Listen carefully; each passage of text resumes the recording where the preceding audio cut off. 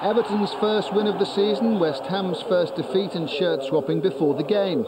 David Unsworth was playing for the Hammers against his former club. Danny Williamson was playing for Everton.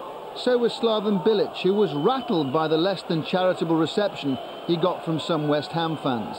The Croatian was diving in all over the place.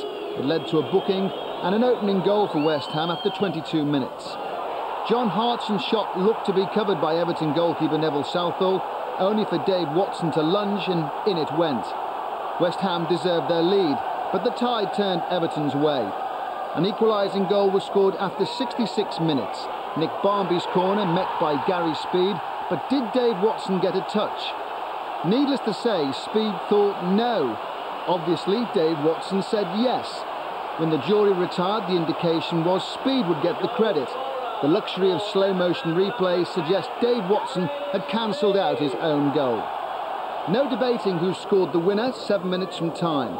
Everton bombarded the West Ham goal. Graham Stuart turned sharply and got Everton off and running.